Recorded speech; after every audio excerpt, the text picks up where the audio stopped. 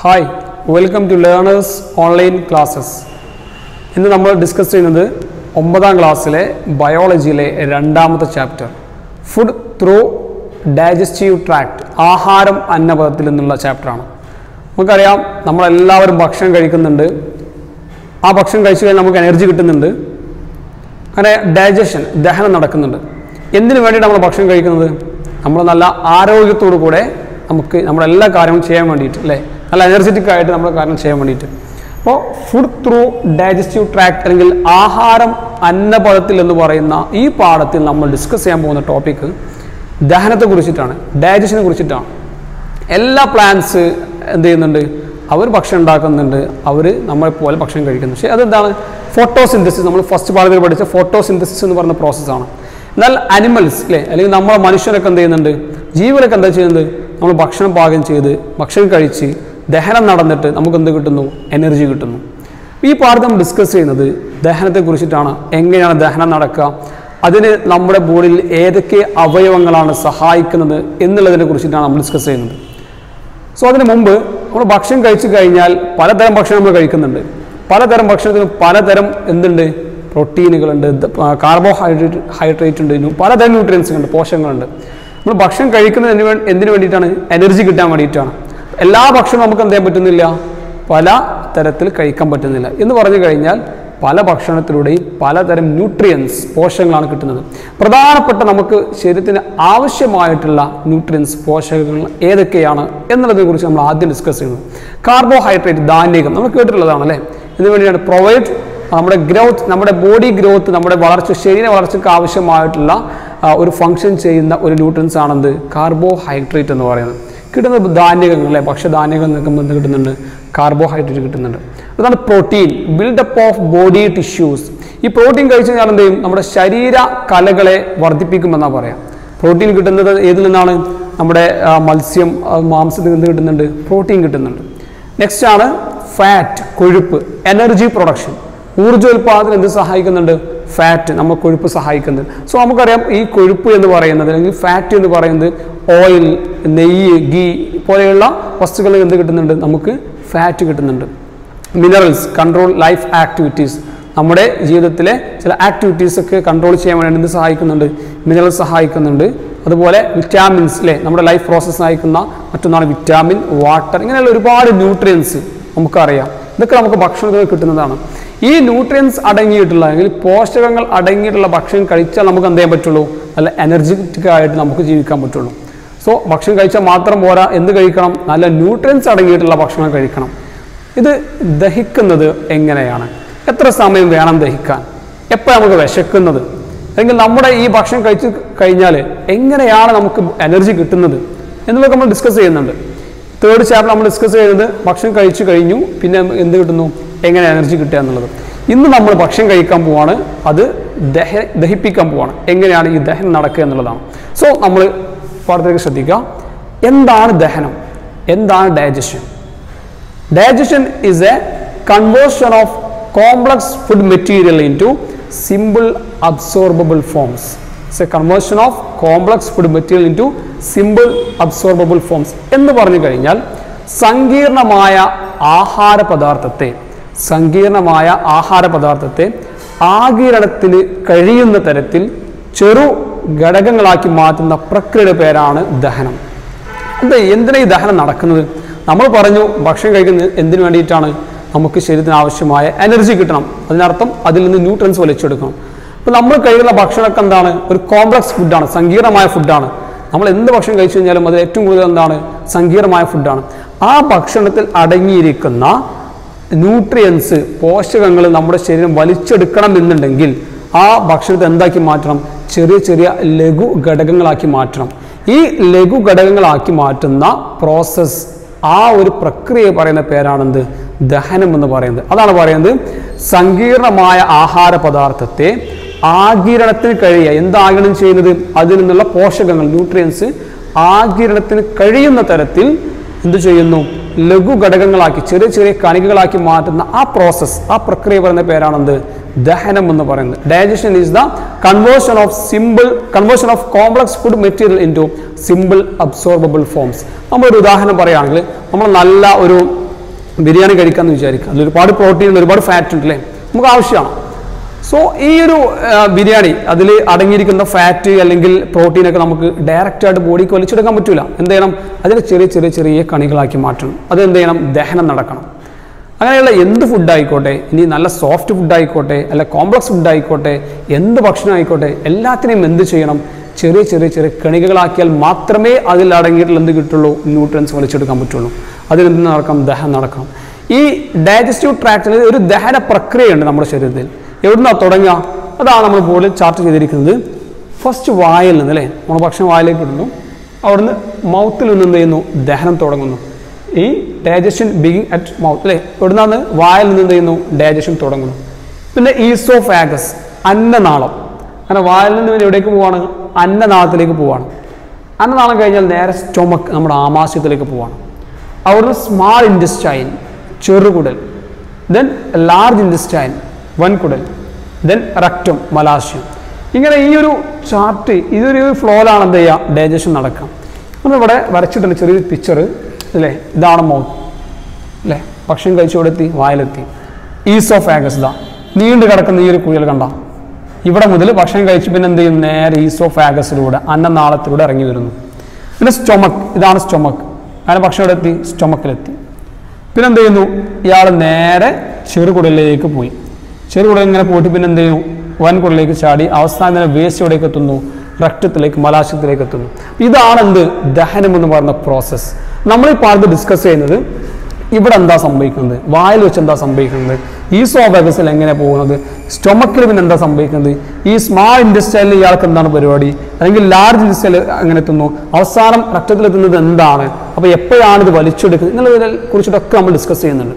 First ടോപ്പിക്കാണ് mouth അല്ലേ? നമ്മുടെ വായയെ കുറിച്ചിട്ട് ഇവിടെ നടക്കുന്ന നമ്മൾ നേരത്തെ പറഞ്ഞു ദഹനം തുടങ്ങുന്നത് എവിടെ വെച്ചിട്ടാണ്? വായിൽ വെച്ചിട്ടാണ്. ഓക്കെ അപ്പോൾ ഡൈജഷൻ തുടങ്ങുന്നത് വായിൽ വെച്ചിട്ടാണ്. വായിൽ ആരൊക്കെയുണ്ട്? എന്തൊക്കെയാണ് അതിനെ സഹായിക്കുന്നത്? നമ്മുടെ മൗത്തിൽ കാണപ്പെടുന്നത് നമുക്കറിയാം തേർട്ടി ടു ടീത്ത് അല്ലേ? ദെൻ പിന്നെ ആരുണ്ട്? ടെങ്ക് ഉണ്ട് ദെൻ സലൈവ അല്ലെങ്കിൽ ഉമിനീരുണ്ട്. ഓക്കെ ഇനി ശ്രദ്ധിക്കാനുള്ളത് ഈ മൂന്നാളുകളും ദഹനവുമായിട്ട് എന്തെങ്കിലും നമ്മെ സഹായിക്കുന്നുണ്ടോ എന്നുള്ളതാണ്. അപ്പോൾ ദഹനം തുടങ്ങുകയാണ് എവിടെ വെച്ചിട്ട്? വായിൽ വെച്ച് നമ്മൾ എന്ത് ചെയ്യുന്നു? ഒരു ഭക്ഷണം കഴിച്ചു കേട്ടോ ഭക്ഷണം കഴിച്ചു. അപ്പോൾ ഭക്ഷണം എവിടെയാണുള്ളത്? നമ്മുടെ മുഖത്തിലാണ് വായിലാണുള്ളത്. ഈ പല്ലുകൾ തേർട്ടി ടു ടീത്ത് എന്ത് ചെയ്യും? ഭക്ഷണം നന്നായിട്ട് ചവച്ചരക്കും. Help to chew the food ഭക്ഷണം നന്നായിട്ട് എന്ത് ചെയ്യും? ചവച്ചരക്കാൻ സഹായിക്കും. തെങ്ക് എന്തിനാ സഹായിക്കാം? നാക്ക് എന്തിനാ സഹായിക്കാം? ഈ ചവച്ചരച്ച ഭക്ഷണത്തെ എന്ത് ചെയ്യണം? നമ്മുടെ നെക്സ്റ്റ് പ്രോസസ് എന്താ? ഈസ് ഓഫ് ആഗസ് അല്ലേ? നമ്മുടെ അന്നദാതിലൂടെ കടത്തിവിടണം അങ്ങനെ കടത്തിവിടാനൊക്കെ സഹായിക്കാൻ ആര് വേണം? ടെങ്ക് നിർബന്ധമാണ്. ഈ നാക്ക് ഇല്ലെങ്കിൽ എന്ത് ചെയ്യാൻ പറ്റൂല? ചവച്ചരച്ച് നമുക്ക് ഭക്ഷണത്തെ ചവച്ചരക്കാൻ പറ്റില്ല ഒന്നാമത്തെ കാര്യം. മാത്രമല്ല ചവച്ചരച്ച ഭക്ഷണത്തെ എന്ത് ചെയ്യാൻ പറ്റൂല?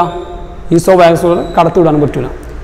സലൈവ ഉമിനീർ ഉമിനീര് എന്തെങ്കിലും ബന്ധം ഉണ്ടോ? നമ്മുടെ ദഹനവുമായിട്ട് ഉമിനീർ എന്തെങ്കിലും ചെയ്യുന്നുണ്ടോ എന്നത് വളരെ ഇമ്പോർട്ടന്റ് ആയ കാര്യമാണ്. സലൈവ അല്ലെങ്കിൽ ഉമിനീരിൽ അടങ്ങിയിരിക്കുന്ന മൂന്നാളുകളുണ്ട്. ആളുകളെ പരിചയപ്പെടുത്താൻ പോകണം ഒരാളുടെ പേരാണ് മ്യൂക്കസ്. അല്ലെങ്കിൽ ശ്ലേഷ്മം എന്നാണ് വിളിക്കുക. ശ്ലേഷ്മം ഓക്കെ ദെൻ രണ്ടാമത്തത് സലൈവറി അമൈലൈസ്. സലൈവറി അമിലേസ് എന്നാണ് എഴുതുക. Salivary amylase. മൂന്നാമത്തത് ലൈസോസൈം. എന്താ പേര്?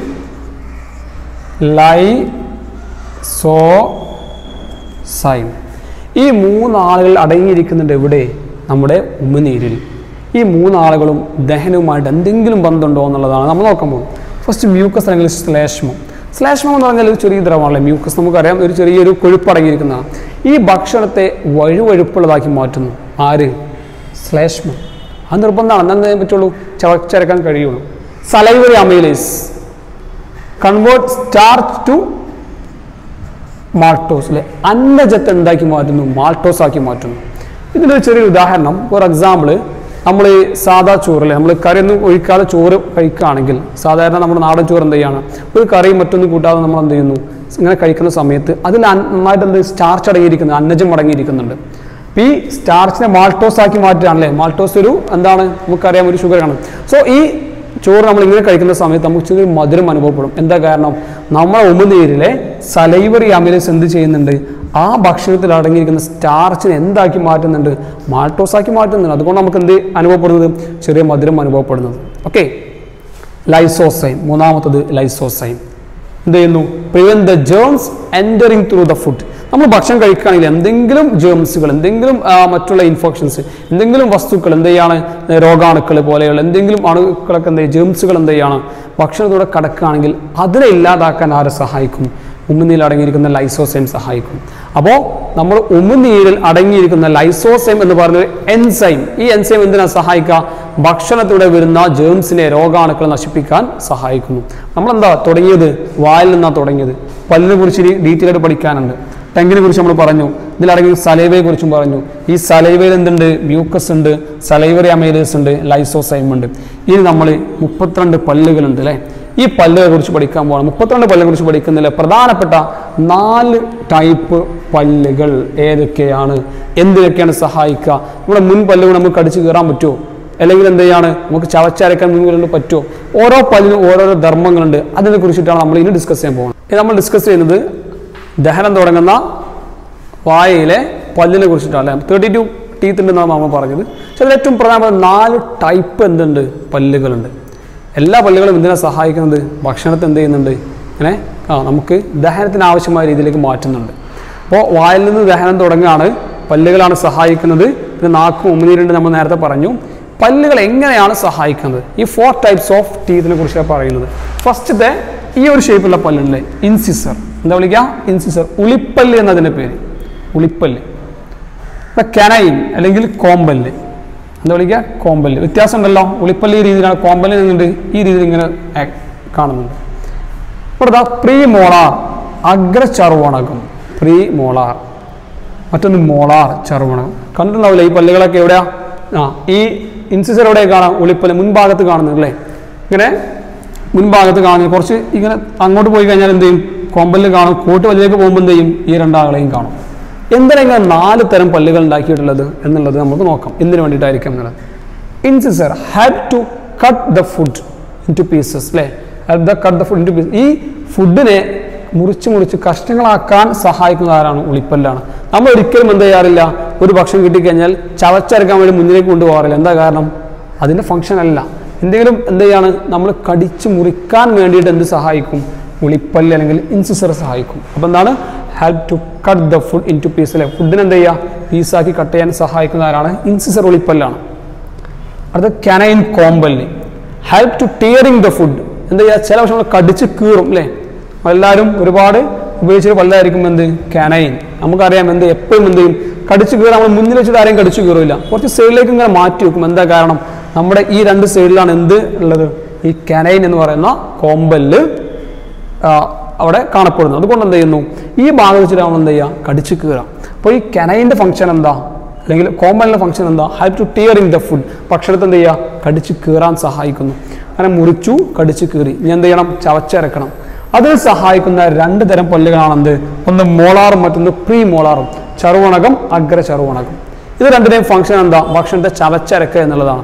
നേരിട്ട് നമ്മൾ എന്ത് ചെയ്യാൻ പാടില്ല? നമുക്ക് കഴിയില്ല. ഒരു ഭക്ഷണം ഒരു നല്ല കോംപ്ലക്സ് ആയുള്ള ഫുഡ് എന്ത് ചെയ്യാൻ പാടില്ല. നേരിട്ട് നമുക്ക് ചർവത്തിൽ കൊണ്ടുപോകാൻ പറ്റൂല. കാരണം എന്താ അത് ചവച്ചരക്കൂല അപ്പം എന്ത് ചെയ്യണം? ആദ്യം നല്ല കോംപ്ലക്സ് ഫുഡാണ് എന്ത് ചെയ്യണം? നമ്മൾ കടി പീസാക്കി മാറ്റണം. അല്ലേ? നമ്മൾ അതിനെ മുറിക്കണം. അല്ലെങ്കിൽ എന്ത് ചെയ്യുമ്പോൾ അതിനെ ടിയറിങ് ചെയ്യണം. എന്നിട്ട് എന്ത് ചെയ്യുന്നു? ഈ ഭാഗത്തേക്ക് കൊണ്ടുപോകുന്നു. ഇനി അപ്പോൾ നമുക്കറിയാം നമ്മുടെ വായിലെ ടീത്ത് എന്ന് പറയുന്നത് എന്താണ്? എല്ലാം ഒരേ ഫംഗ്ഷൻ അല്ല ചെയ്യുന്നത്. വ്യത്യാസമുണ്ട്. അല്ലേ? എല്ലാ പല്ലുകളും ഒരേ രീതിയിലാണ് ചെയ്യുന്നതല്ല. എന്തുണ്ട്? പലതരം വ്യത്യാസങ്ങളുണ്ട്. Four types of teeth are present our mouth എന്തൊക്കെയാണ്? ഇൻസിസർ കനൈൻ മോളാർ പ്രീമോളാർ നാലിലും വ്യത്യസ്ത ധർമ്മങ്ങളുണ്ട്.